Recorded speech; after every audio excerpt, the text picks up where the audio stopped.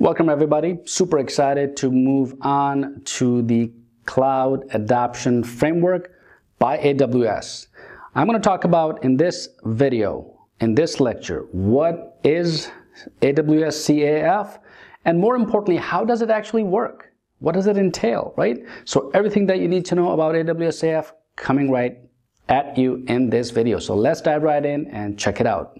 So your approach to security is basically, and risk management and compliance can be an enabler to digital transformation and business agility. So that's more, as more organizations progress, right, towards digital transformation journey empowered by cloud computing, security organizations and processes, they cannot simply participate, right? They must basically go through that transformation. So today, many clients or customers, they establish security foundations using technology agnostic risk management frameworks, such as the NIST, right? National Institute of Standards and Technology.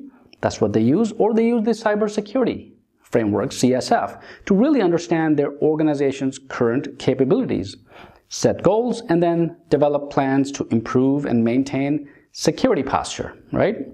But you still need the right model to optimize security outcomes in the cloud. So, to help you adapt these security program, AWS has developed two tools, right? AWS Cloud Adoption Framework that I'm going to talk about right here. And then the other one is, of course, AWS Well-Architected Framework. You can check it out in my other lecture. So I'm going to focus right here moving forward on AWS CAF and how does it work. So let's dive right in and take a look how it works, right? So by complementing your risk-based foundation with the AWS CAF, you can integrate your organization, business drivers, and scale as you move to the cloud. And when you're ready to implement specific workloads, right? You can use the AWS CAF or well-architected framework to design, measure, and improve your technical implementation. So basically, the AWS Cloud Adoption Framework, or known as the AWS CAF, it leverages the AWS experience and best practices to help you digitally transform and accelerate your business outcomes through innovative use of AWS. So, AWS CAF basically identifies a specific organizational capabilities that underpin successful cloud transformation. Now, these capabilities provide best practices, guidance that helps you improve the cloud readiness. AWS CAF groups these capabilities in six capabilities, right? Business, people, governance, platform, security, and operations. Now, each perspective comprises of set of capabilities that functionally relate you know, stakeholders to own or manage cloud transformation journey. Now, we can use the AWS CAF to identify and prioritize the transformation opportunities, evaluate and improve your cloud readiness, and iteratively involve you know, the transformation roadmap. Now, the AWS Cloud Adoption Framework, or CAF, it basically helps the organizations plan for a successful cloud migration and not just the technical aspects of a single application moving from you know hybrid to the cloud, right? So the intent is to establish organizational foundations to facilitate deploying, operating, and securing workloads at scale. Now, this may include you know establishing DevSecOps culture and processes, training your staff, or incorporating new paradigms into your assignments, right, or tasks. So building shared cloud infrastructure and management, you know, environments, implementing central governance, for example. And uh, another aspect is to integrate individual applications and use cases. Now, each organizational path will certainly be different, right? So plan ahead and then connect your business goals and desired security outcomes to the right processes and technologies. So if you are a solutions architect, for example, or a DevOps engineer, or even wanting to get into AWS, right? So let's dive deeper into some of these you know, perspectives and CAF. All right, so how does it work, right? First, you envision, right? That is to identify and prioritize transformational opportunities in line with your strategic objectives, which is associating you know, with your transformation initiatives with key stakeholders and measurable business outcomes will help you demonstrate value as you progress through your transformation journey.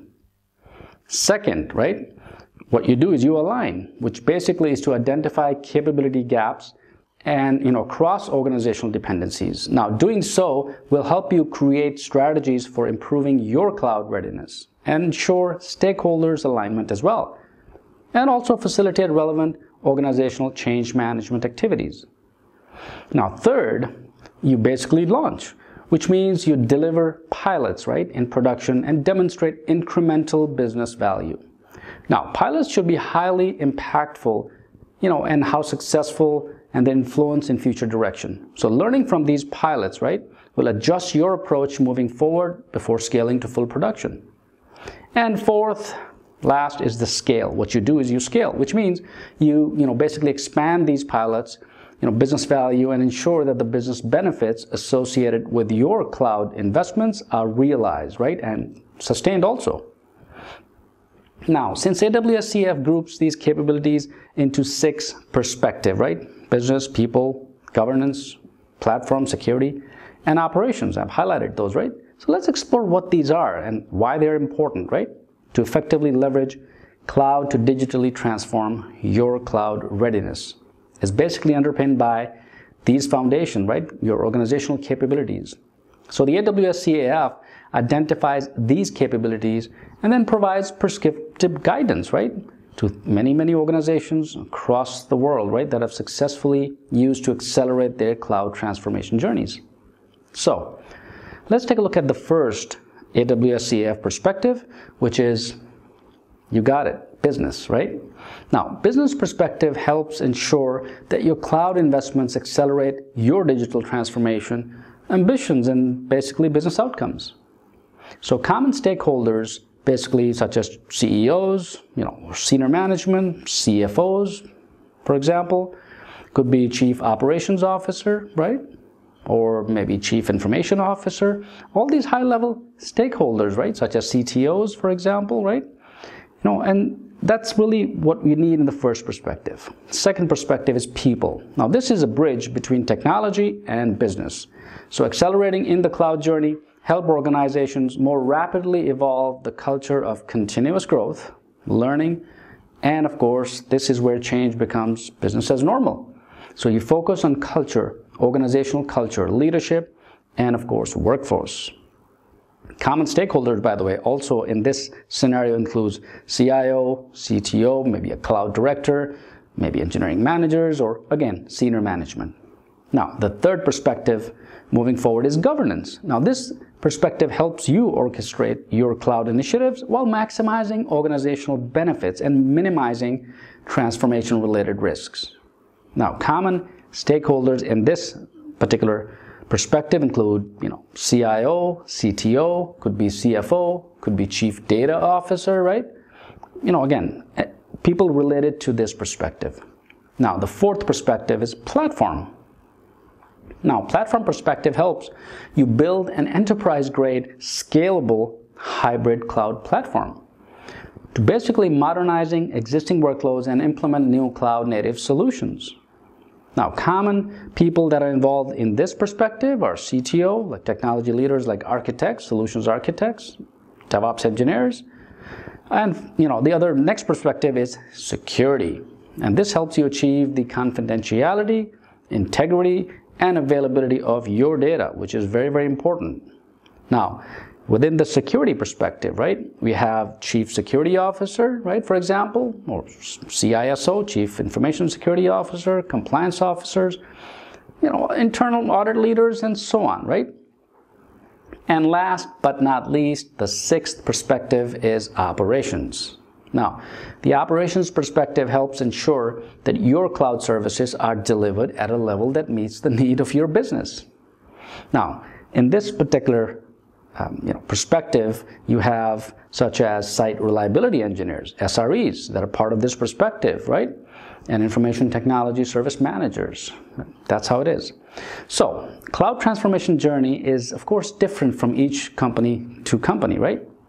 Now, you'll need to envision your own desired target state, understand your cloud readiness, and then adopt an agile approach in closing these gaps. Now, transforming incrementally definitely will allow you to demonstrate value quickly, at the same time minimizing you know, need for you know, over predicting. Now, adopting an iterative approach is certainly, certainly beneficial, right? And of course, as you evolve your roadmap, you learn from your experience.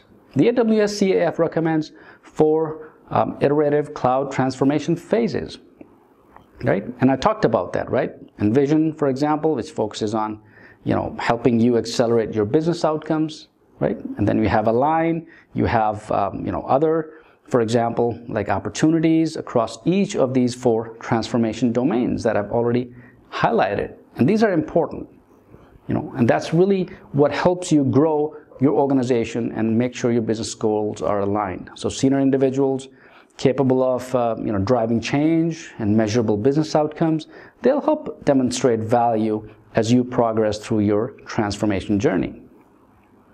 And similarly, like I mentioned earlier, Align also you know, defines the capability gaps. It fills these gaps between all these perspective, identifying cross organizational dependencies, right?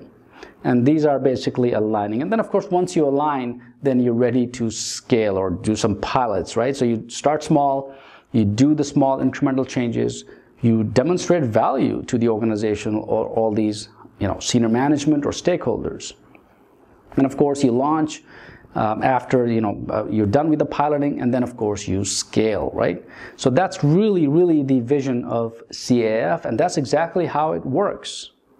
So let's conclude and summarize. So technological innovations continues to accelerate the need for continuous digital transformation and it will become more you know, pressing as time progresses. So the AWS CAF leverages AWS experience, best practices to help you accelerate your business outcomes through innovative use of AWS tools and services. So we can use the AWS CAF to identify and prioritize transformation opportunities, right, across the organization, evaluate and then improve your cloud readiness. And of course, iteratively, you know, evolve your transformational roadmap. That's what AWS CAF is all about. So super, super exciting, very powerful. Let me know if you have any questions, post in the discussion area, and I will see you in the next lecture.